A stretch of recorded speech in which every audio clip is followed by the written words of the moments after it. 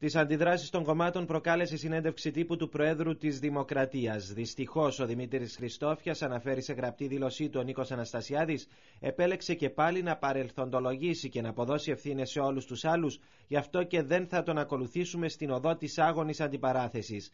Μάλιστα, προβάλλει την ανάγκη για συλλογικότητα και εθνική συνεννόηση. Το τελευταίο του σχόλιο με έχει ευνηδιάσει.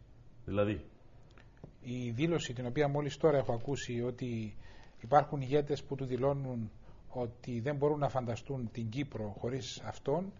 Είναι μια ε, δήλωση η οποία, εν πάση περιπτώσει, ε, αποπνέει έτσι μια μεγαλοειδιατική προσέγγιση η οποία έχω την εντύπωση ότι δεν προσυδειάζει σε δημοκρατικά καθεστώτα. Το Δίκο με ανακοίνωσή του καλεί τον Πρόεδρο και τα κόμματα να σταθούν με υψηλό αίσθημα ευθύνης ενώπιον της ανάγκης για δημιουργία συνθήκων ενότητας και συλλογικότητας και να ανταποκριθούν στην πρότασή του για συμφωνία στη βάση μίνιμουμ συγκλήσεων.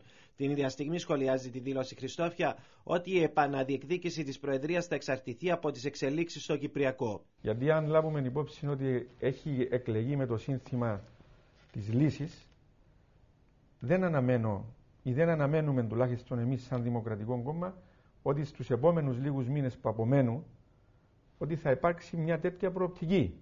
Ο πρόεδρος για άλλη μια φορά επαναλαμβάνει αυτόν και διαστρεβλώνει τα γεγονότα, δηλώνει το Ευρωκό. Επέμεινε ότι είναι απόλυτα σωστός στους χειρισμού του και ότι ακόμα, αν είναι δυνατόν, τον θέλουν και οι ξένοι στην Προεδρία για να λύσει το Κυπριακό.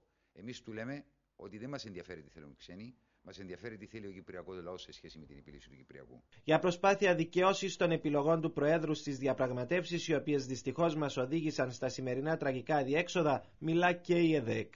Ξαναζεσταμένη σούπα και προεκλογική εξαγγελία χαρακτηρίζουν οι οικολόγοι τη συνέντευξη. Το μοναδικό νέο που προέκυψε από τη σημερινή δημοσιογραφική διάσκεψη του Πρόεδρου Χριστόφια είναι ότι ο ίδιος θέλει να υποβάλει υποψηφιότητα για τις προεδρικές εκλογές του 2013.